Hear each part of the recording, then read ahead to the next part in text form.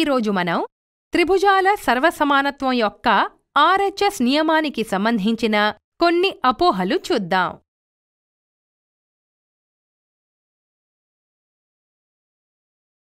అపోహ ఒకటి.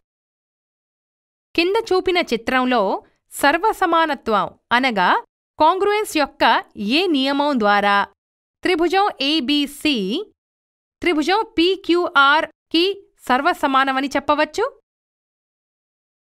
కొంతమంది పిల్లలకి లంబకోణ త్రిభుజాల అనగా రైట్ యాంగిల్డ్ ట్రయాంగిల్స్ సర్వసమానత్వాన్ని పరీక్షించడానికి మరి ఏ ఇతర నియమాన్ని ఉపయోగించకుండా కేవలం ఆర్హెచ్ఎస్ నియమాన్ని మాత్రమే ఉపయోగించాలనే అపోహ ఉంటుంది.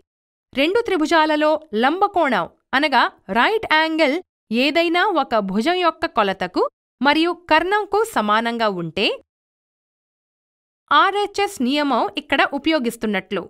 ఈ అవగాహనతో వారు ఎంపిక రెండుని సమాధానంగా ఇస్తారు. కాని అది తప్పు సమాధానం. ఎందుకంటే ఇక్కడ త్రిభుజం ఏబీసీ యొక్క మూడు భుజాలు త్రిభుజం పీక్యూఆర్ యొక్క మూడు సదృశ భుజాలకు సమానం.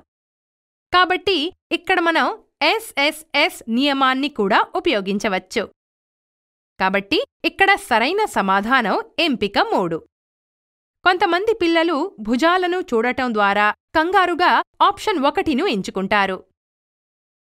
కానీ ఇది కూడా ఇచ్చిన ప్రశ్నకు తప్పు సమాధానం. అపోహ రెండు. కింద ఇవ్వబడిన త్రిభుజాల భాగాల కొలతలను చూసి త్రిభుజం ఏబీసీ మరియు త్రిభుజం ఎల్ఎంఎన్ సర్వసమానంగా ఉన్నాయో లేదో కనుగొనండి. కొంతమంది పిల్లలకు ఆర్హెచ్ఎస్ నియమం గురించి తెలుసు. కాని వారు దానిని సరిగ్గా ఉపయోగించలేకపోతారు.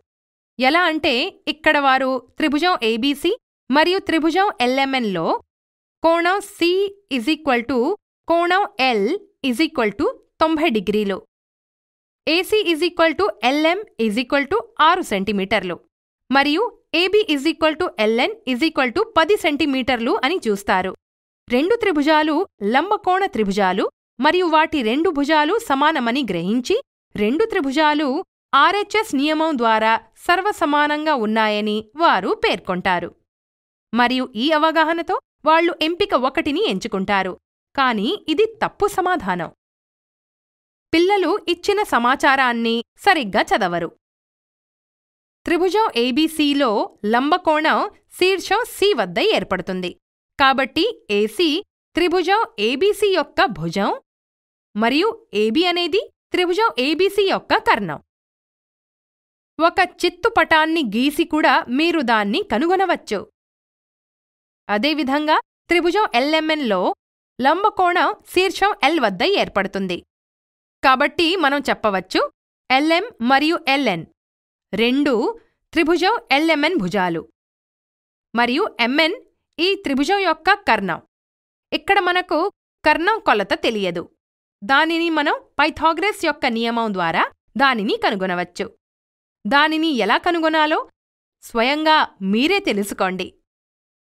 దీన్ని కనుగొన్నప్పుడు రెండు త్రిభుజాలలో ఒక భుజం యొక్క కొలత సమానమని కాని కర్ణం యొక్క కొలత సమానం కాదని మనం చూస్తాము. కాబట్టి ఇక్కడ ఆర్హెచ్ఎస్ నియమాన్ని ఉపయోగించి ఈ రెండు త్రిభుజాలు సర్వసమానమైనవి కావు అని మనం చెప్పగలం.